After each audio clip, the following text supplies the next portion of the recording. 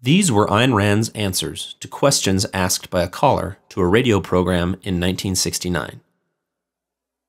Can't you use another man's ideas to get a basis for your life? Or must you think of these bases on your own?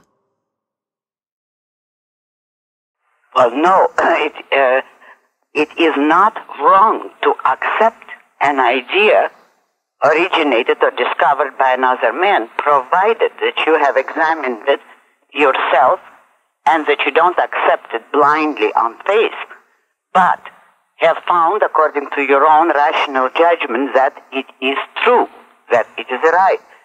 Now, philosophy in this respect is in the same position as the physical sciences or any science. It is not wrong to accept a scientific discovery which is discovered by someone else.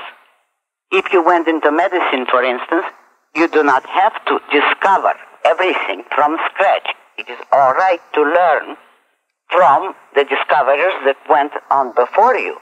But in either case, whether it's science or philosophy, you cannot claim that you know or understand or accept an idea if you merely memorize it or take it on faith.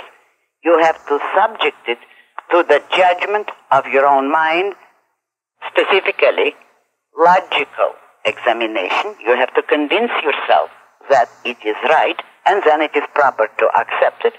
And it is very desirable also that you originate further ideas or even a full philosophy if you find that you can, if that is your knowledge and your interest.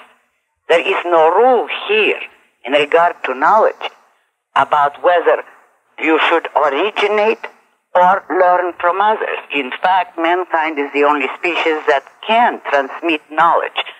It is quite proper to learn from others, provided, of course, you do not then claim authorship. You learn from those who went on before you, and then you continue and contribute and originate your own ideas when and as you can.